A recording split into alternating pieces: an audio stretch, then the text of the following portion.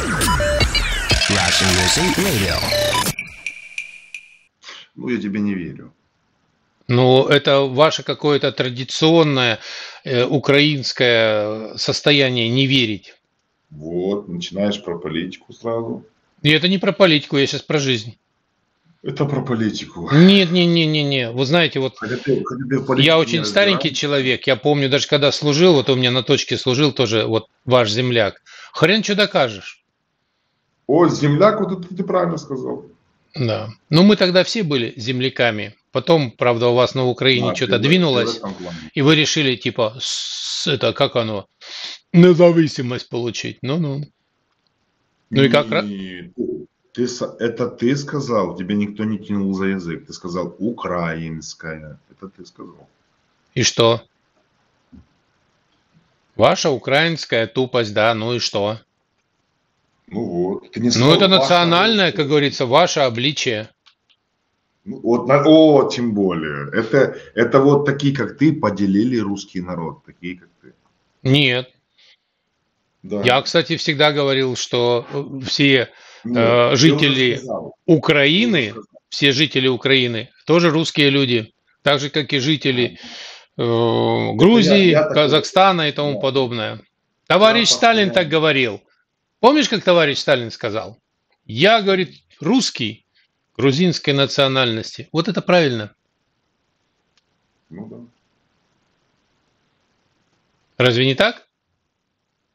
Так. Ну вот видишь. А ты чего отстаиваешь? Какие ценности? Я коммунист. Вау! Давно? Ну, с, э, с 15 года точно. Понятно. Ты прямо в партии КПРФ? Нет. А в какой партии?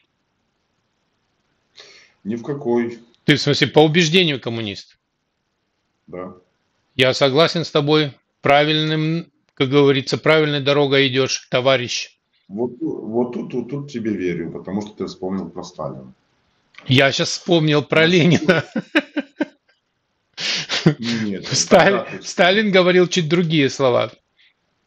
Ну, вспомнил тогда, первый раз ты вспомнил. Вот ты как коммунист все-таки не должен путать немножко Сталина и Ленина, хотя и тому, и другому, как говорится, э, почет и уважение. Правильно? Да. Правильно. А кому у тебя еще э, почет и уважение из, так скажем, правителей нашей компартии? Бывшей компартии. М. Почет и уважение. Ну, как Кого бы ты выделил, Берия сказал? еще, А? например. Берия. Берия, согласен. Как к Жукову относишься? Ну, он там потом облажался, конечно, в конце. Согласен. Вел- Полководец должен оставаться полководцем, правда?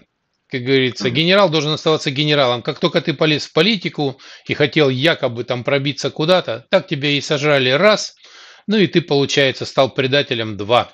И, честно говоря, я частенько в частных беседах особенно говорю, что да, именно из-за Жукова уничтожили Берию. И именно потом из-за Жукова, получается, вся эта цепная реакция, вся эта цепочка, ну, в общем-то, покатилась, ну, как говорится, в болото. Вот. Если бы Жуков не Ну, поддержал Берию, хрен бы получился этот переворот, имеется в виду, хрен бы Берию скинули, и, скорее всего, к власти бы не пришел, естественно, Хрущев. А если бы к власти не пришел Хрущев, то, скорее всего, наша великая страна СССР по-прежнему бы существовала, и, скорее всего, Мгм. ни вот никакой вот этой войны и тому подобное ничего бы не было. Конечно, конечно, личность истории это важно, но просто Это очень важно. большинство людей, большинство людей ни- никогда не хотели строить коммунизм, поэтому Понятие коммунизм разное у всех. Кто-то себе придумал сказку, кто-то, как говорится, отталкивался от реальностей. Посмотрите на Китай.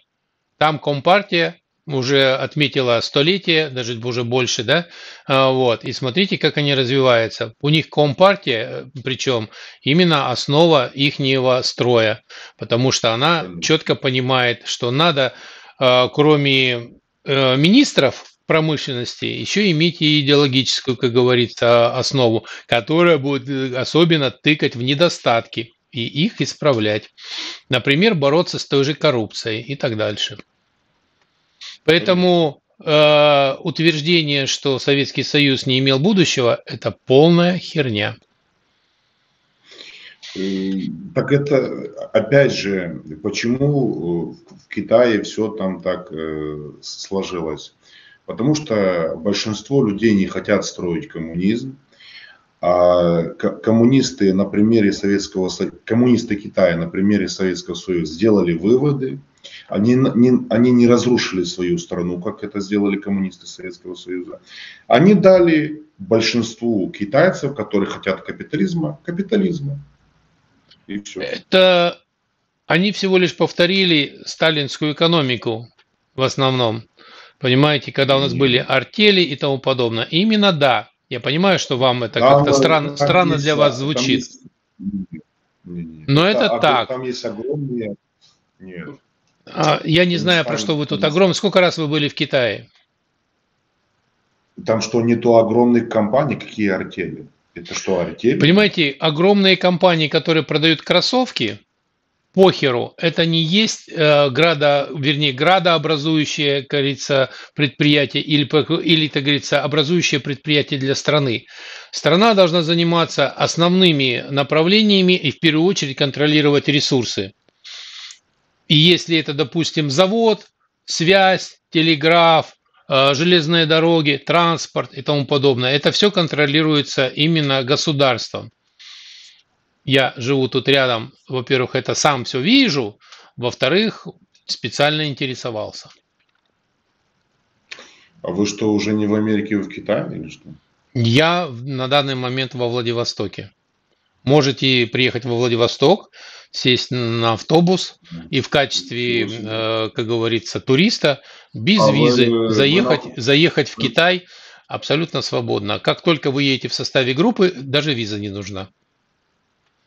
Вы уже постоянно будете в России? Я стараюсь. Если бы не было дебильных санкций, я бы уже давно отрапортовал, что да, все сделано, и, может быть, даже пригласил бы вас в какой-нибудь интересный проект. Но пока есть, вот, ну, есть то, что есть. Понял. Вот как-то так. Это прям, я вам, я, вам сказ, я вам скажу, это прям поступок очень крутой то, что вы приехали в Россию?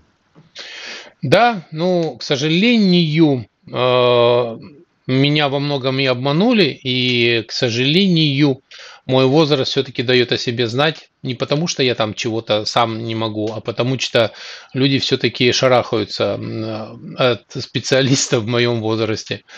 Вот, поэтому очень довольно-таки, ну, обидно, я бы так сказал. Мне очень обидно. Ну, да ладно. Стиснув зубы, я не сдаюсь. Русские же не сдаются.